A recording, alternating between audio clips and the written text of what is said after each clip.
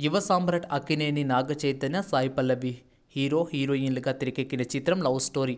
Feel good చిత్రాల దర్శకుడు శేఖర్ కమల ఈ చిత్రానికి దర్శకత్వం వహించారు. సమ్మర్లో రిలీజ్ కావలసిన ఈ చిత్రం కరోనా సెకండ్ వే నేపథ్యంలో వాయిదా పడింది. అప్పటి నుంచి రేవంత్ మౌనికల ప్రేమ కథను తెరపై చూసేందుకు ఆడియన్స్ వేచి చూస్తున్నారు. అంటే రేవంత్గా నాగ చైతన్య నటిస్తున్నట్లు తెలుస్తుంది. అదేవిధంగా హీరోయిన్ సాయి పల్లవి క్యారెక్టర్ మౌనికగా ఉండబోతున్నట్లు తెలుస్తుంది. వినాయక చవితి కానుకగా సెప్టెంబర్ పదిన ఈ చిత్రాన్ని థియేటర్లలో రిలీజ్ చేస్తున్నట్లు మేకర్స్ తాజాగా అఫీషియల్గా ప్రకటించారు.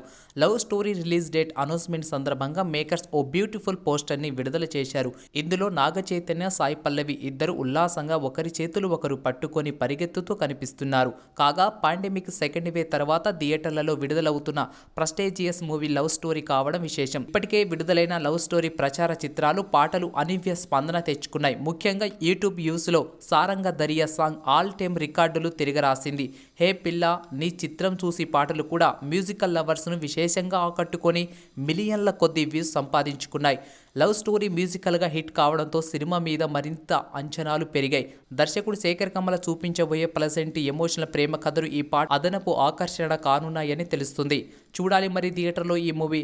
ఖచ్చితంగా సెప్ సెప్టెంబర్ పదో తారీఖు వస్తుందా? ప్రేక్షకులు దీన్ని ఏ విధంగా బ్రహ్మరథం పడతారు చూడాలి. ఇప్పుడు చాలా మంది వీడియోని చూస్తున్నారు కానీ సబ్స్క్రైబ్ చేసుకోవట్లేరు. అఫీషియల్గా వచ్చే అప్డేట్ను ఖచ్చితంగా మీకు వీడియో రూపంలో తెలియజేయడం జరుగుతుంది కనుక ఈ ఛానల్ని సబ్స్క్రైబ్ చేసుకోండి. బెల్ ఐకాన్ని క్లిక్ చేయండి. లైక్ చేయండి షేర్ చేయండి థ్యాంక్ యూ